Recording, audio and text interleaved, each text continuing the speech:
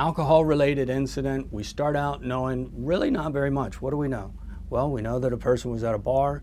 We know that they bought liquor at the bar and they drank the liquor at the bar.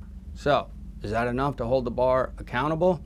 No. The sale of the liquor has to be unlawful. Two things that can make sale of liquor unlawful in Florida. Number one, I knowingly serve to somebody who's a minor. Number two, I knowingly serve an alcoholic. Both those situations really, really risky to the public at large. That's why, as a bar owner, I'm not allowed to do it. Those are the situations when that bar owner can be held accountable.